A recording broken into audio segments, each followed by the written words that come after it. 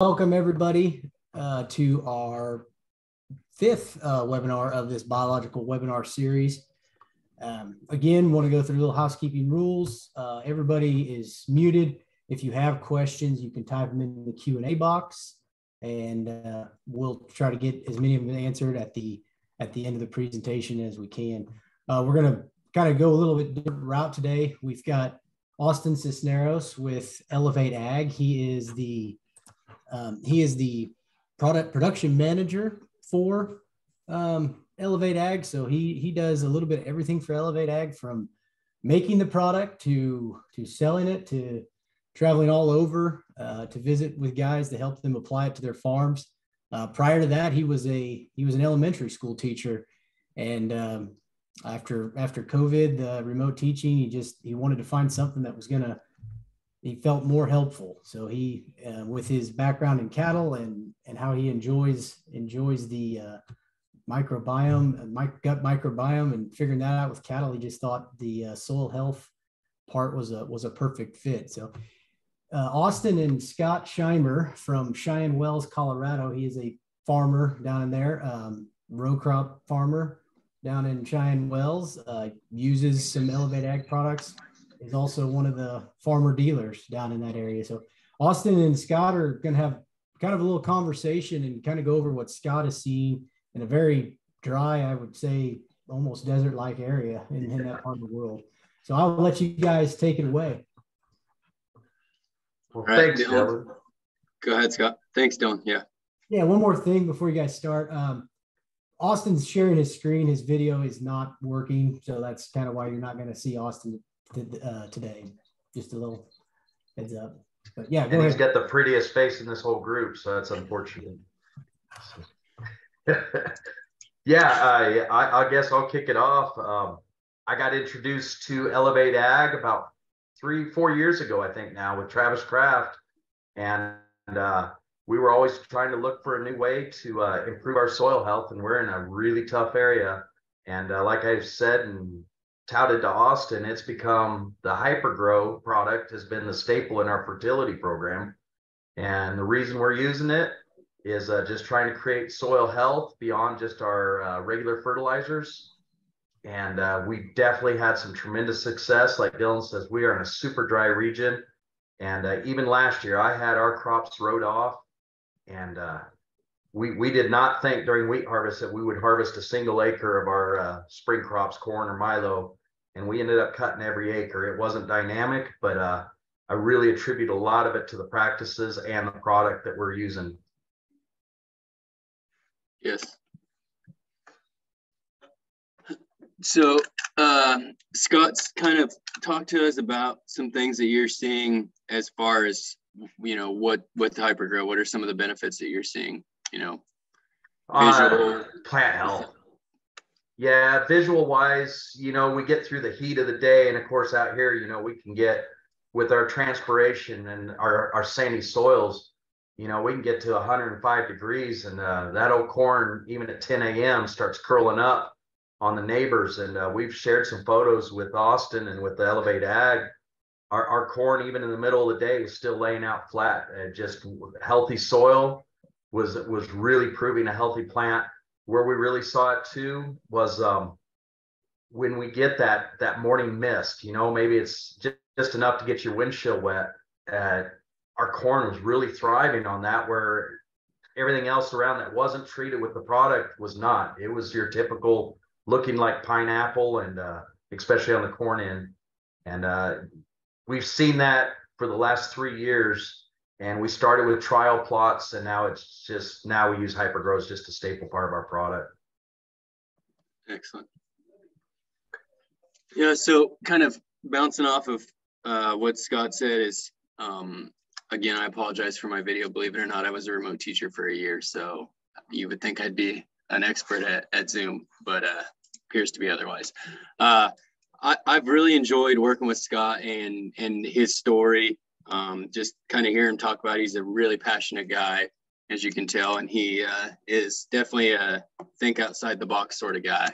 Whether it's uh, shrimp farming or uh, all the adventures that he he gets into. Uh, we I've talked to Scott about a couple different things, and he's always right there to say, yeah, let's try it. What are we, what, what let's, so he's willing to jump on board right away. So I appreciate that. Um, he's fun to work with.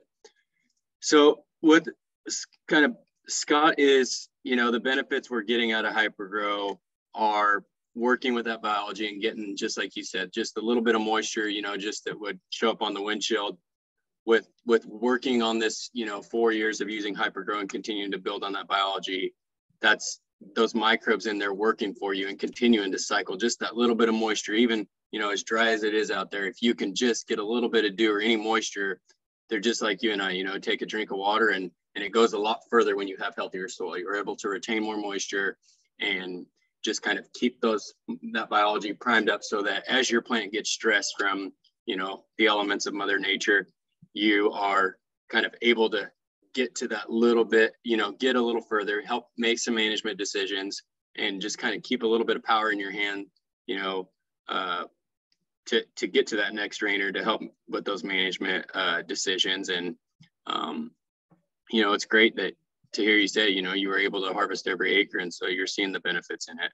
Um, we kind of talked a little bit about some of our other products as far as hypercycle goes and and the importance of you know, kind of looking at that for the fall as how we can kind of get another harvest out of that residue and and we're able to pull those nutrients down and really build a nice um, biome for that incoming seed in the spring and just the importance of, of just trying to build this soil health up so that we're able to you know one promote a healthy environment for the seed coming in but just get the most out of our ground and and try to you know make a healthier product at the end of the day and and try to you know help with the ROI, which is what truly I, I enjoy the most is just kind of getting these guys to to make these changes and, and walk along these journeys and I guess that's that's what I really enjoy about working with Elevate Ag. So yeah, it's uh it's what we do too is a you know the bottom line is everything. You even have it up here, profitable farming um, that's kind of the staple of my operation. And the, the program I developed, Simple Farms, is to track all that. But we've, the last few years, have just shifted our input dollars of our fertility. And uh, years ago, I uh, been going to these no-till conferences, regenerative ag, trying to find a way to make this really work for our operation. Every one of us is different. And the decision I made was, all right, we're going to adopt some of these new products, the hypergrow, some of these other biologicals, and uh, the way we're going to do is we're just going to shift our fertility dollars. We already know we're going to spend so much on 1034 320. So let's just shift these dollars into these new products, and not we're not trying to replace anything. We're just supplementing.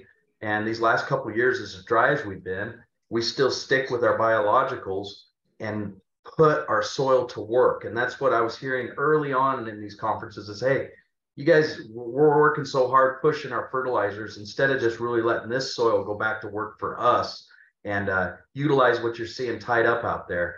And the Elevate Ag products are exactly that that direction. That's what you guys are looking at, and that's the hyper cycle, like Austin brought up, is something we really want to introduce. Is uh, getting it where it's breaking down some of this heavier residue. We're feeling quite fortunate that we're going to have some fields this year that maybe we got more residue than we can manage with our, our equipment. So if we can break it down with biologicals and put that right back in the soil to work for us and still be able to get through with the uh, the planting equipment we have, I, am really excited to use it that way and just get away from all these other mechanical tools that we've had to use historically to get us a stand. Yeah. Um, I, did you, Scott? Did you mention that you're using hypergrow and furrows? That did you tell them the process of that? Yeah, yeah. So uh, all our equipment for years has been set up with liquid. Uh, even my air drill, I've designed my own systems, and uh, uh, yeah, our air drill for years has we put liquid in furrow. Our planter, we put all our liquid in furrow. So we're trying to get it there with the plant. Now we have if we feel like we things are looking really good, good success here. We're talking about this year with our wheat. Couple weeks here, we'll be out top dressing, looking to put hypergrow on top as well, and probably some of this fish fuel to really accelerate the biology. Yeah, and so the the you know what's why the in furrow is so important. I mean foliar is great but and you know obviously um, elevate ag at elevate ag we just want to work with the producer where they're at with the, the things that they're implementing. And so um, in furrow if we can get it there uh, and build a get that seed started right kind of stealing off david olson from last week as he always said a healthy seed is a healthy plant. And so um, that's extremely beneficial to kind of keep all that biology right there, get it in the soil. So when that seed that that is our future, you know, that's our dollars in, in the field. And so create as good of an environment for that as we can and really get that plant promoted from the get-go and and with helping with there's so many benefits with uh, drought stress and you know pests and weeds and all these things it's really neat when we kind of uh, get to really get the soil working for us or for the producers the the different things that you see outside of what you're truly after your goal i guess. And that's kind of uh, you and i've had that conversation a couple times scott is just kind of weeds and and the pests that have you know you've seen the different the benefit or the the difference in since using product. And so um and kind of bouncing off or stealing off your you know your sawfly issue that you were talking about the other day. So um, yeah yeah with the with the chitosan and uh that plant you know we just I guess it's hard to grasp as a farmer. You know, we we're doing a lot of things. We're wearing a lot of different hats, and the science that's coming out with the biologicals and all the it, all the plant health. There's a lot wrapping our minds around and and learning about. And uh, I'm always learning and finding where that initial treatment by the seed and the plant carries that all the way through its life and creates that protection, almost that immune system like you and I have. As uh, you know, it's it makes sense now, but you don't think about all that at that point. Uh, one thing we did see, even in this high stress year as well, we didn't raise great crops, but we still had great quality. I think that was another huge dynamic. You know, we I can remember historically, if we had a poor year, moisture wise and everything, we just didn't have very good quality grain either, whether it was the wheat, the Milo test weights, or anything. But this year, even our corn, we had fields that only yielded in the teens. We went ahead and picked them. But uh, we're still shipping 59 pound test weight corn. Uh, we didn't get below 57 pound test weight corn in super extreme drought conditions. I, I think that translates a lot to this biological all the way to the end result of your grain. Yeah. Um, trying to think what what other things we've discussed.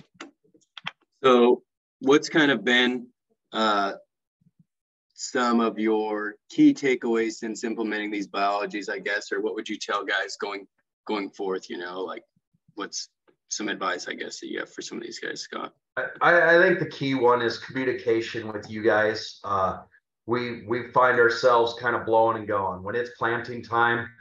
Uh, kind of everything goes out the window. Uh, you guys might have told us not to mix this with that. I, I think it's important with everybody out there to definitely communicate with your supplier, the provider of the products, and Elevate Ag is excellent about communicating back. Is uh, be careful what you mix these products with. They will cause problems if you introduce them with the wrong other products. Uh, you know, mix it in a jug or in a bucket before you introduce it all together because there are problems when you're putting the biologicals together with certain synthetics and other products. They they don't all get along. They all look like liquid to begin with, but boy, can they make a mess. And we've definitely had our experiences here where uh, we mixed some products and really had a mess. And uh, I think it's important for everybody to communicate and just really lay out a game plan of how they're going to mix this product and what they're going to use before they introduce it when it's blow and go time and you're all slugged up. That's that's no much not much fun.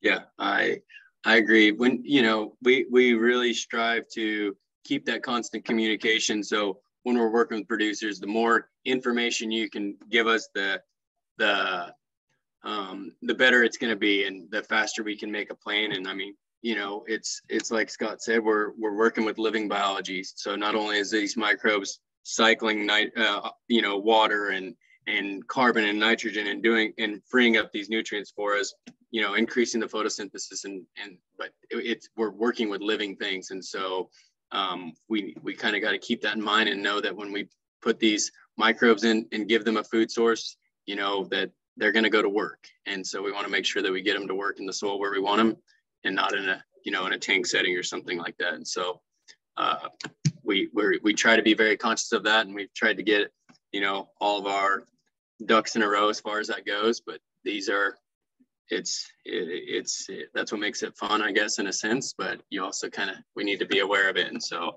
um, yeah. We we created some science projects.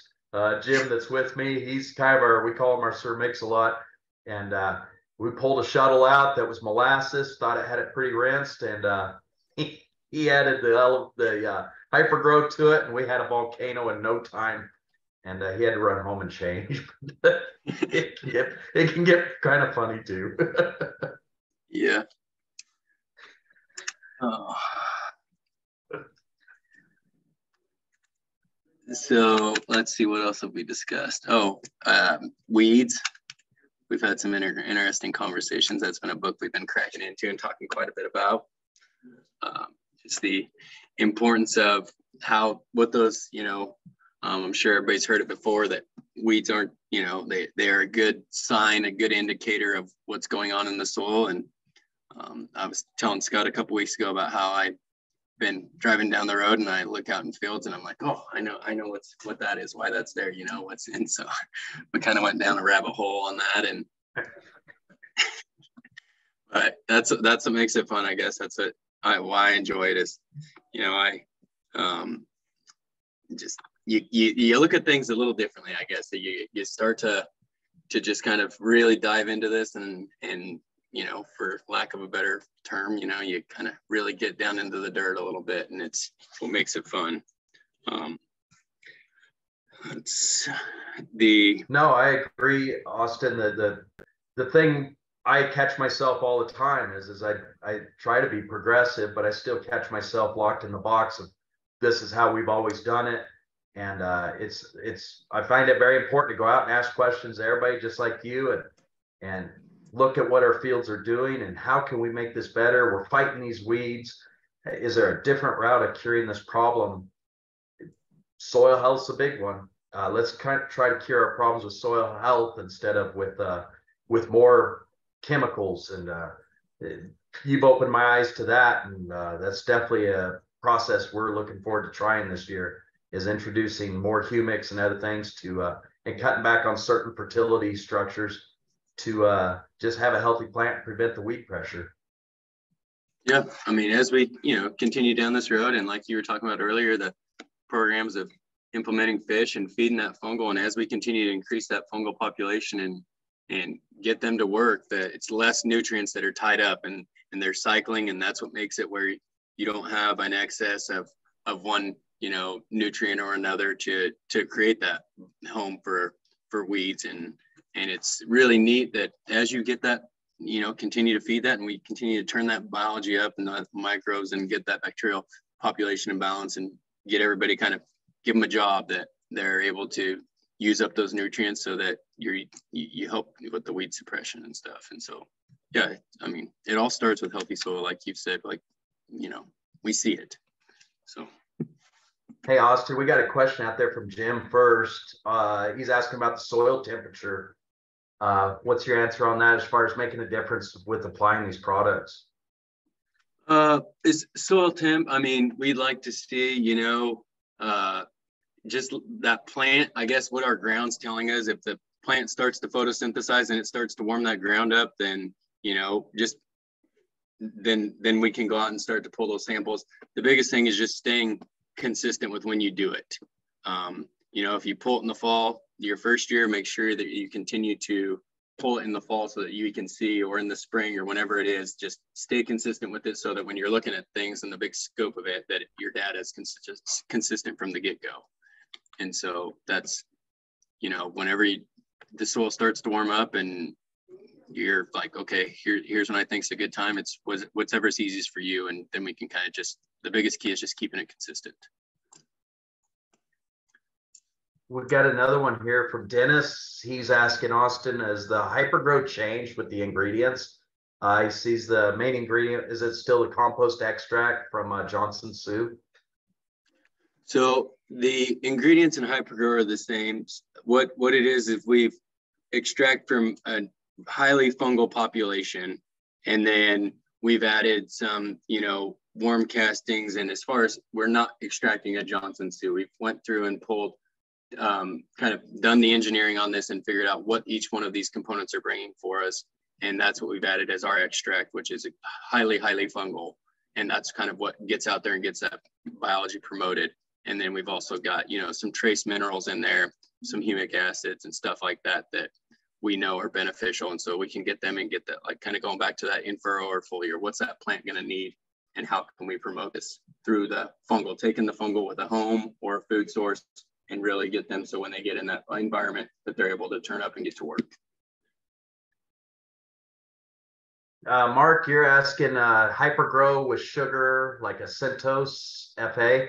Uh, the only sugar we've introduced it to was uh, uh, molasses, and uh, that that did not work out well. Things really got excited there, um, so we we've stopped doing that. I don't know about the three sugar with the fulvic acid. I think that's definitely an answer for Austin to throw out there.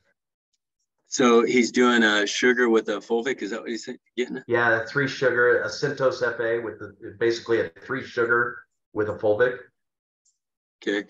Um, yeah, it, it's, you know, the sugars are tend to be more of a bacterial food versus a fungal. It's, you can, you can use them, you know, they, they're going to feed that microbe. It's just, it, you know, the, it's how long that food source is going to last and, um, what, what you're getting out of it, I guess is the thing I would look at it, you know, fulvic is great for getting it into a plant absorption, helping transport that and make it readily available and being a food source as well for microbes. But it's, um, I would, I, I, guess I get nervous with with molasses as well. You know, it, has got a place. It's just you got to, you know, we got to know where we're at and what we're going to mix it with.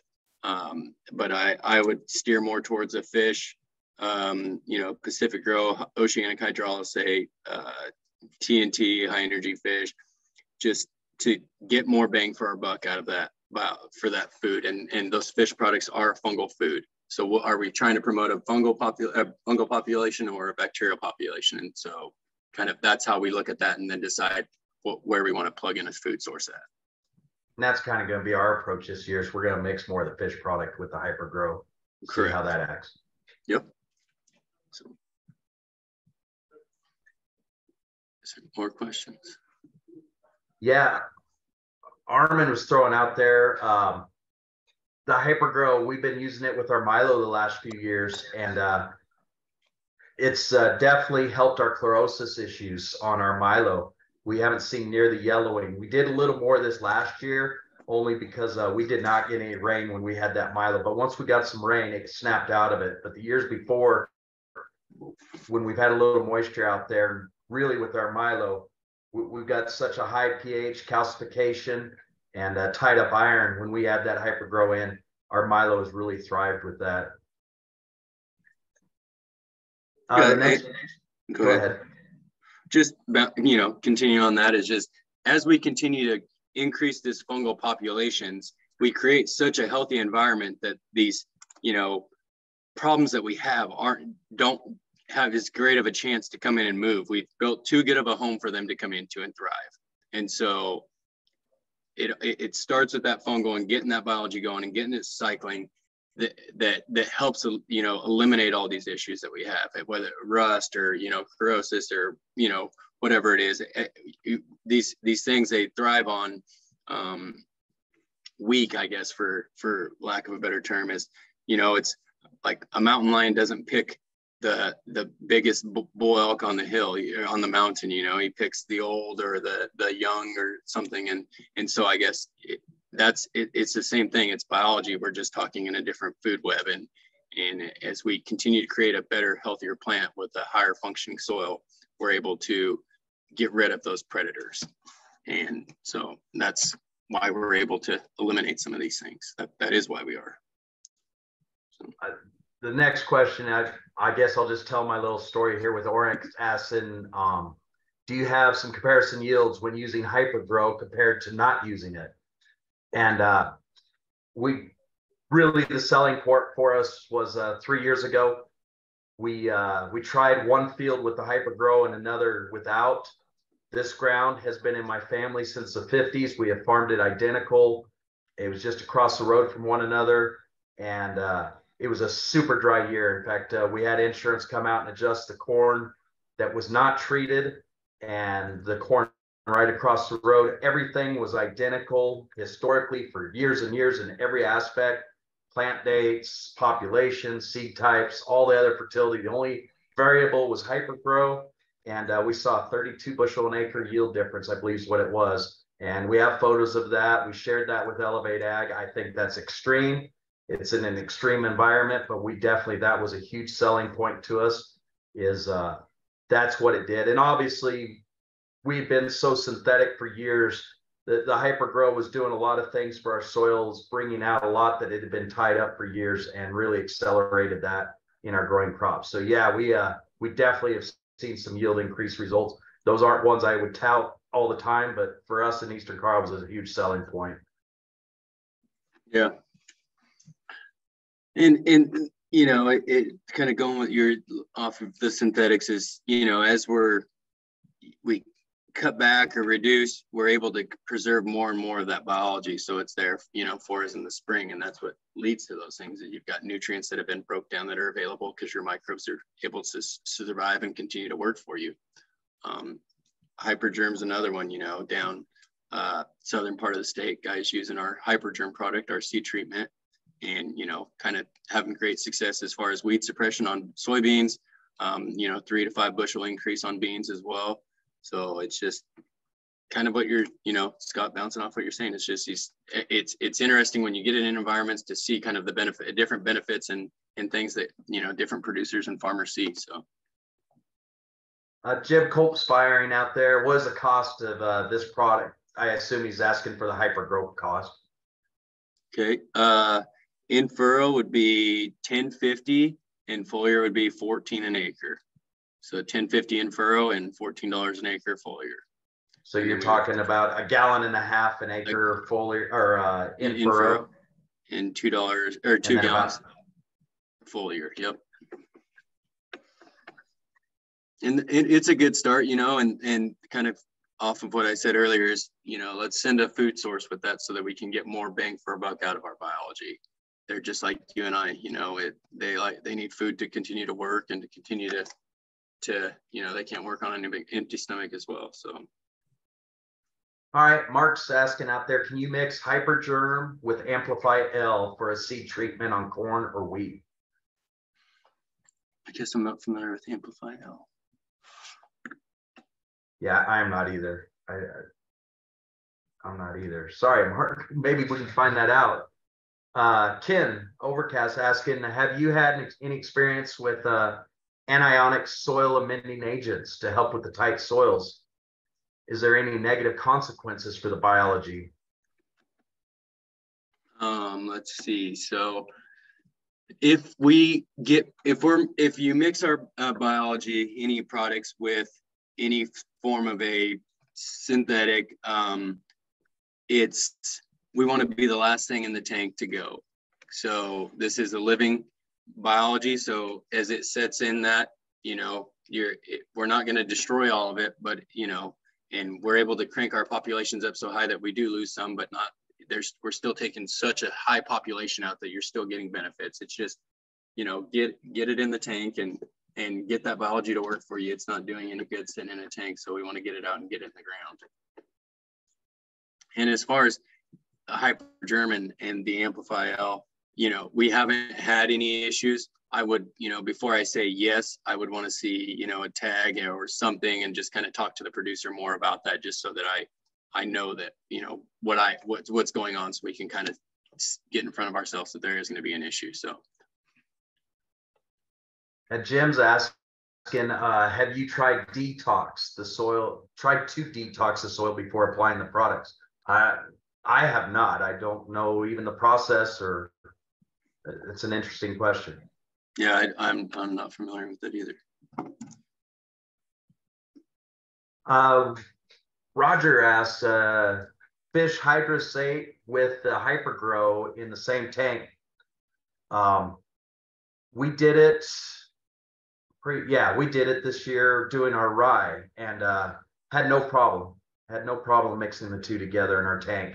And uh, we carry saddle tanks on our drills. And so we had over a thousand gallons of it mixed together and drilled the whole section and didn't have a problem doing that.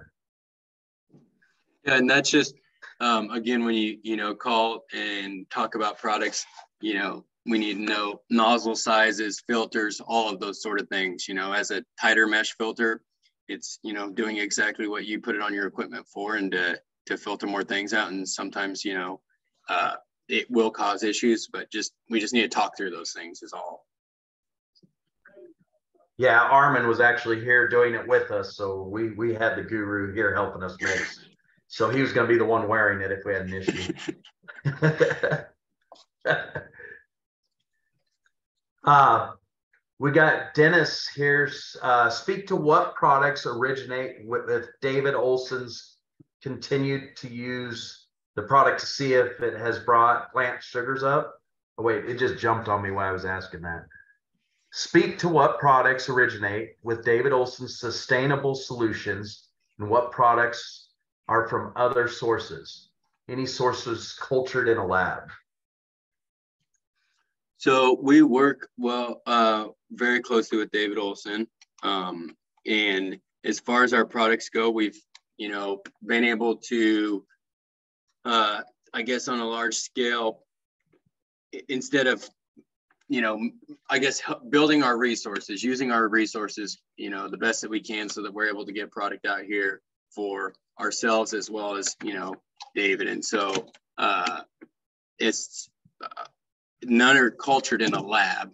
It's all living biology, and we just crank that population up so high and continue to feed them so that we can have those high populations. And so, so there is no cultured lab. It's this is extraction from a fungal, and we just continue to crank them and feed them up and make them extremely high in fungal or extremely high in bacterial wherever our situations are. And so um, yeah, I guess that answers, hopes that answers.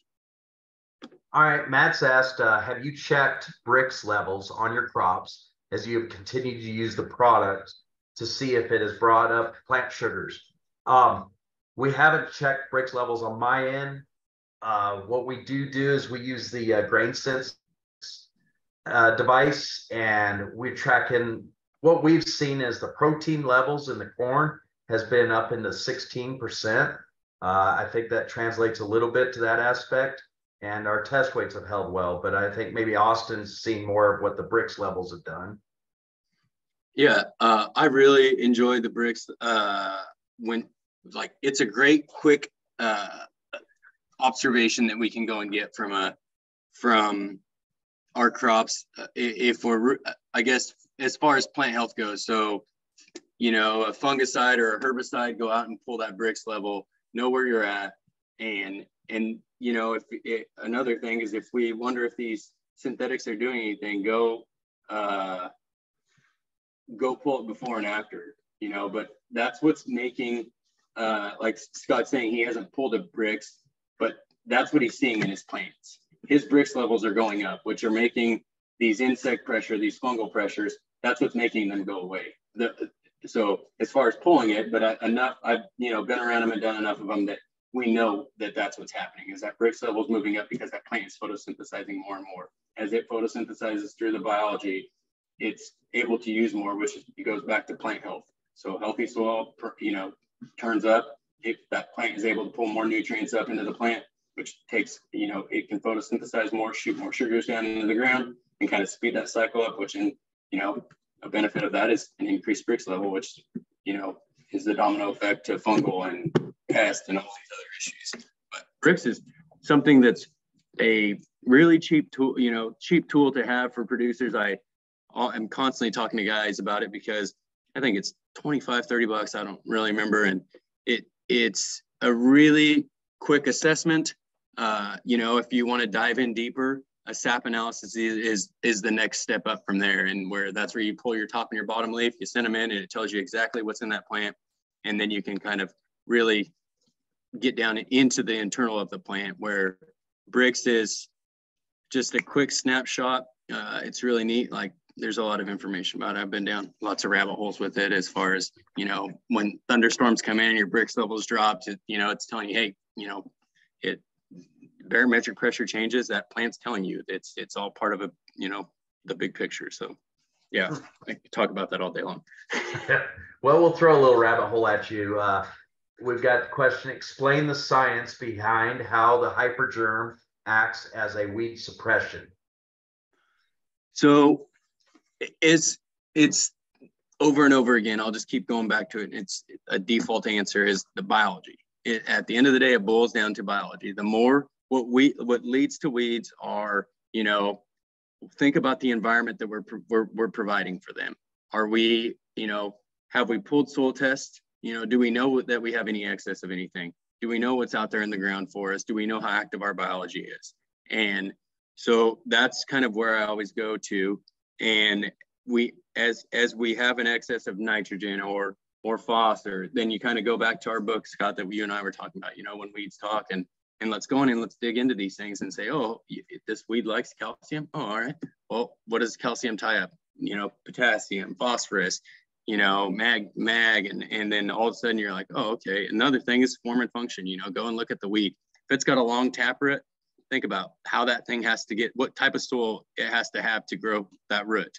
And so then these kind of things are, then you're able to kind of say, okay, these are my minerals getting tied up.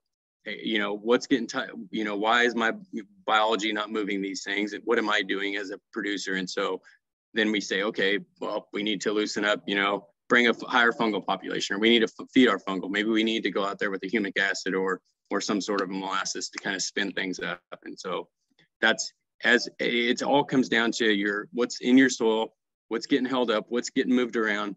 That what what kind of environment are you creating for a weed? Are you you know, and that's that's what comes down to it is the biology of it. Tom asks uh, if you guys have a dry seed treatment. We do have a dry seed treatment, um, foundational fungi. Uh, you know, it's two to four ounces per 100 pounds of seed. It doesn't take a lot. Uh, but, you know, again, make sure that we, if we can incorporate some sort of a food source with that, it's, you know, sounds so just, yeah, we have a dry seed treatment. Sorry. Good. Hey, Jim's asking um, for someone that has never used any biology in area that only gets around 17 inches of rainfall per year, what would you start with? Uh, Jim, we're over here Cheyenne Wells. I'm uh they say we're at 12 inch annual. I don't think we've seen that since 2017. Last year I think we were five inches of rain total. Um the the Hypergrow's been my first go-to and uh we've just kind of so Austin quoted that's about 1050 an acre and uh, we were using about $30 an acre in fertility to get started. So we just shifted about a third of our uh, inputs over to the Hypergrow and tank mix that in to get things started. And uh, that was kind of our beginning. And yeah, we're we're super dry here, and it just blows my mind that we're able to harvest anything with that limited rainfall. But uh, that's definitely, and I I felt like too when we first introduced biologicals, I think we really got an accelerated aspect because we've been our ground's been waiting so long to go to work for us. So uh, yeah, that's that was kind of our beginning, is using the hypergrow in our tank mix and seeing these results. Uh, the the next one, Keith's asking, can you recommend a good bricks Brix reader device there, Austin? Uh, I just got on Amazon and just type in a refractometer is what it's called. Uh, and then there's all sorts of options. I think mine's in like a blue, like a light blue uh, plastic case so as far as a brand goes, no. If they type in refractometer on Amazon, they'll pop right up. Hey, we've got uh, Norm. Do you have any opinion about whether the biology is on some level driving the plant to increase photosynthesis to increase root exudates? Absolutely. Yep, that is exactly what that we're after. That's exactly what's happening out there. Exactly. You nailed it. Yep. Uh, Clint, Austin, can you repeat the name of the book that tells what weeds tell us about soil deficiencies? Uh, it's When Weeds Talk by Jay McCaman. Is that correct? Yeah. It's it doesn't it's not a fancy looking book by any means. I'll, I'll show you guys. I don't know. There you go. There it is. I it's on my desktop. and, and and and it's you know it, it, it's open to research. It you know it, it, is just a good starting piece. So it's you know just a good educational piece. I you know just something to get you started. It just makes you you know think a little bit and uh, look at things a little differently. And so i guess that's what i enjoy about it. I'm going to type it in for clint as well. It's called when weeds talk by j.l mccaman i believe is how you say his last name and then galen asked please give price and use of seed treatments the rate would be six to eight ounces per 100 pounds of seed. So we need to know your planting population and then what your seed, you know, bag weighs uh, to figure that. And that is $60 a gallon, but again, just six to eight ounces per acre. So it all, you know, depends on planting populations.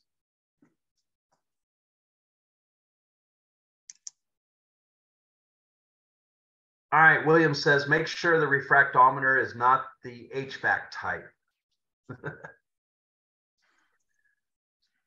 yeah, I was talking to a producer and they said that they use it like for they check an antifreeze or something. I don't know. There's different sources. Maybe that's what he was talking about. Huh. Okay. Yeah, that makes sense. yeah, yeah, get the proper device for plants. It's neat. Yeah, you can. I mean, coffee, your soda, any of that stuff. It's really neat. Nitrates in in Sudan, or I mean, there so many different uses to it. I recommend carrying a, you know, a pair of vice grips or pliers. Sometimes that tends to help to get some of that um, sugars out of there too. Just, to, I mean, you don't need very much just to drop, but sometimes it's can be a little difficult to get some out of a plant. Scott and Austin, I also did share a link on Amazon for the When Weeds Talk and the refractometer you were referring to, Austin. In the, Dylan, you're the webinar man. chat for everybody. You you are the man. Yeah.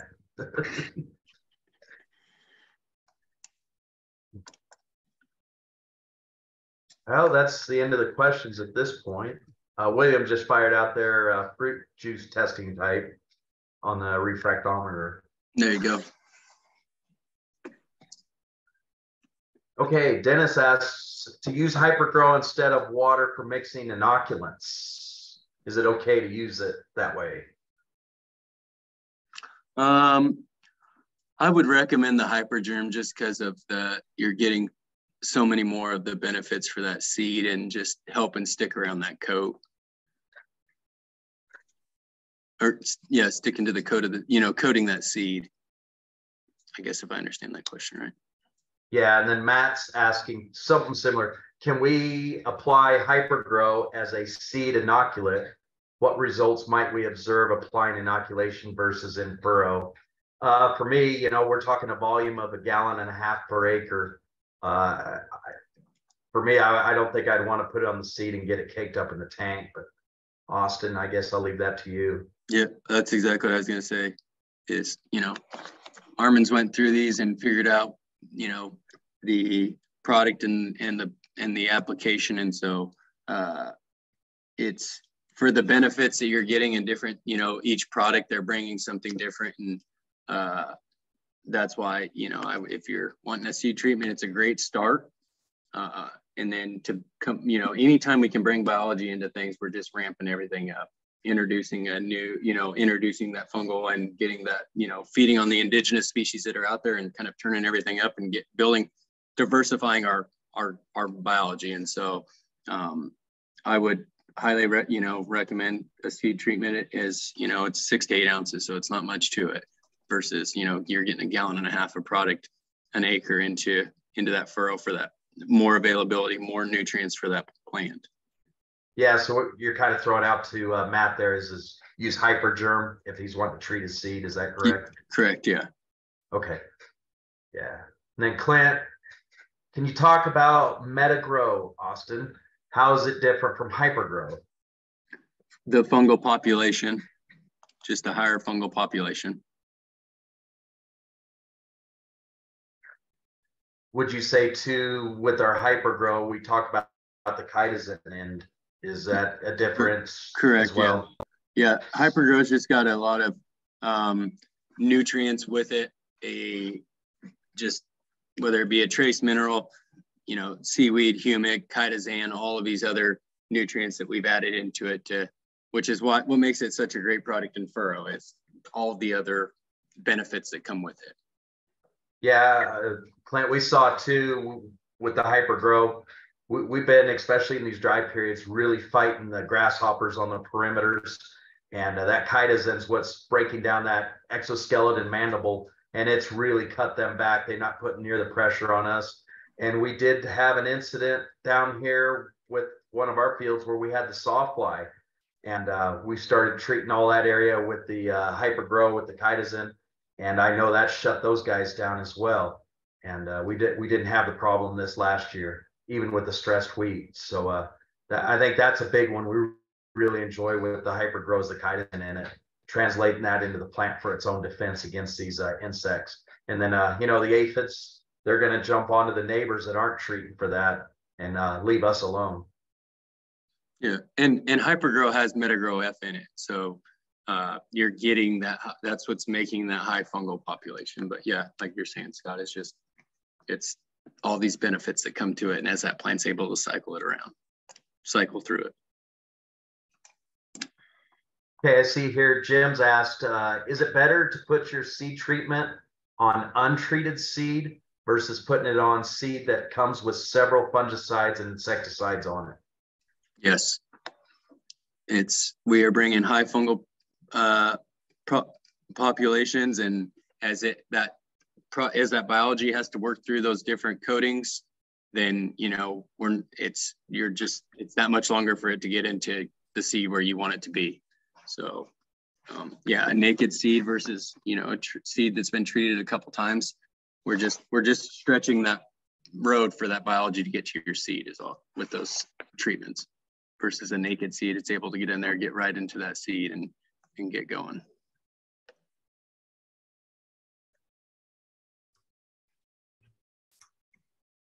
Well, guys, looks like that might be most of the questions for now. I do have a have a couple maybe to to to wrap up here. Um, one, Scott, for you, you know, with your with your corn through that drought where you were harvesting some and maybe your neighbors weren't, you know, what what was the buzzword or the talk about maybe you around town, you know, you know, seeing that that that you were able to, you know, have a harvest in a in a dry year like that? You know, there wasn't a lot of conversation. We we would you know, we'd have the dialogue with some of the neighbors and, uh, but, uh, you know, guys would ask us what we're doing and then they don't believe it. You know, we go through that time period. Uh, Austin was just here yesterday. We had a group of our producers and we just keep telling our story and hopefully, you know, we get through and some of these guys, we got a few that are interested now. And, and a great uh, turnout. You had a great turnout last night, I thought. yeah, thanks. It, it was good. Uh, yeah, you know, it's funny. Sometimes you get outside of our neighborhood and we can have a lot more open conversation than just locally. But uh, trying to have that dialogue with all our neighbors and what we're doing different and uh, and and we're not all successes. I have tremendous failures, and I'm always asking my neighbors what their successes are. So trying to keep that dialogue open between the two of us, what we can learn from each other. Yeah, very good. Um, looks like Dennis actually just uh, popped in here with a question.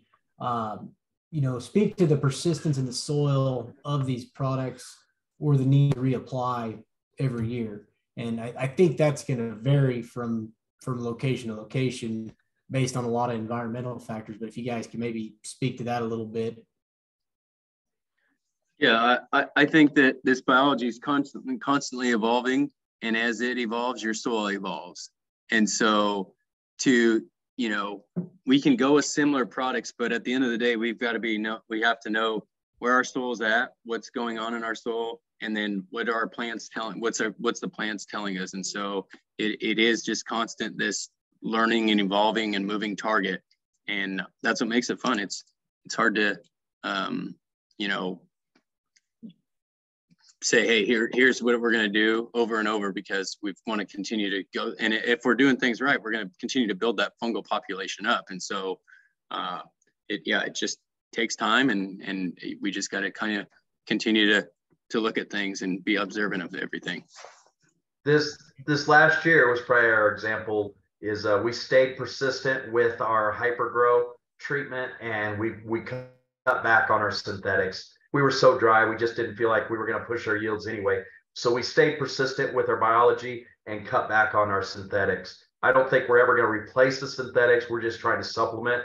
And uh, so I guess I'm creating my synthetics as my variable and staying persistent with my biologicals at this point in time. Yeah, Dennis, and I would probably add to that, you know, in order to keep that biology going, you know, a living root is is key and and sometimes that's easier said than done. You know, Scott, I, I believe you're you're not quite haven't quite found that niche with the cover crop thing yet in your area, but uh, but you know that if if you can find that opportunity, that certainly can go a long ways to to keeping that biology going.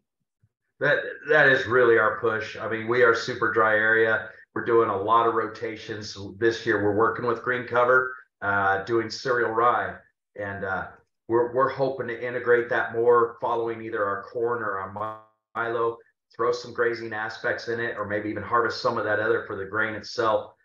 My, ultimate goal with our farm, even with this limited rainfall, is getting to zero fallow. I would rather be full mm-hmm. production year every year and have no fallow acres. We're ways off from that. We have tried the cover mixes. Uh, I think we jumped in kind of fast in it and uh, it, it, hurt us because we went into a dry period. So we're going to taper in again. I think there's a place for us. We just got to find that niche, and we're testing it as we move along. Yeah, yeah, that's that's that's great. Um, you know, probably one more question I would have. Um, you know, when it comes to trying to, I mean, and I think you guys kind of alluded to this a little bit, but when trying to select what what biological program to go with, where are you doing any um, Scott, are you doing any Haney tests, PLFA, TDNs? And then Austin, what, what of those would you recommend to maybe get started with to try to, you know, make a plan um, to go down this path? So on my end, uh, we did partner up with Locus Ag. So we are doing their uh, seed treatment biologicals in conjunction with Hypergrow. I mean, we haven't ex- we have, we are not going away from the Hypergrow Elevate Ag products. We're actually added the fish fuel this year. So we're just supplementing more. So we are working with Locus and they are doing the Haney tests on us with that program for the carbon market. And uh, we are waiting on the results right now. So they did Haney for last year, but I don't have the results yet. And it'll be the first round. For years, we had done the soil probe samples, sent them off. And I got tired of seeing any values move for us for years, even in the no-till. So we quit it a long time ago. So now the Haney is going to be the first for us this year. So stay tuned. Uh, so Dylan, what I recommend is, uh, you know, where we're at, but as a as a starting base, uh, a Haney is great because it tells us what's available to that plant. A TND is a total nutrient digestion, and so how that tells us is what we're able to tap into, what what our potential is, and so as we turn the biology up through the testing of a PLFA. Um, they all kind of work with on, on, one another. But to start with, I would say a TND is you know a great one to have, and then absolutely a, a Haney. And a TND needs to be pulled you know every couple years. Uh, it just depends on the producer. But a Haney, I would do you know my rotations just so you can see that these things are becoming because this biology you're it, it's going to move these these minerals and nutrients and make them more plant available and ultimately that's what we're after okay yeah that's that's good good advice. Hopefully you know be able to get people started. Um, with that i would say scott austin any closing thoughts any closing advice to you know before we we uh, get off here? I, I i think the biggest thing I guess my lifelong perspective in farming is is when you look at a field and a crop and your rotations, you don't have very many years to find your success in each field. Uh, I really go out and I seek professionals that have a lot more understanding perspective, and I keep my mind open. And we're trying new things all the time, and we're doing them in small scales. And once we see success, we expand with it. But uh, I just say to everybody, keep trying, keep trying new things. We don't have a lot of years to to get it right, but uh, I think if we keep moving forward and really lean on these guys like Austin with Elevate Ag to help us out and get through our, listen to them, trust them, and uh, I think it'll help you a lot in the future. Good, thanks, Scott. I uh, I would say you know just kind of echoing on that is, you know, I guess my teaching background is you know know your get some context get some knowledge on these things find educate yourself so that you're you're able to have those those questions that are you know thought provoking and that continue to keep you hungry and moving and and you know you're you're able to build on this knowledge and and gather an understanding of it. And that's that's what makes it fun is is all of these you know little tools and and finding out you know weeds and just there's so many things that, and and just yeah be open minded and and eager to le- learn and just and just stay active with it. Start get started and and you know we're not it's don't start with a, all your acres. Don't pull the plug 100% on your synthetics. Like these are steps. It's it's a journey. It's it's not something that we're to flip our finger you know snap our fingers and tomorrow we're we're in a whole different world. It, it's a step. It's a journey. It takes processes and and practices and principle changes and mindset. And um, i look forward to you know doing this for a long time.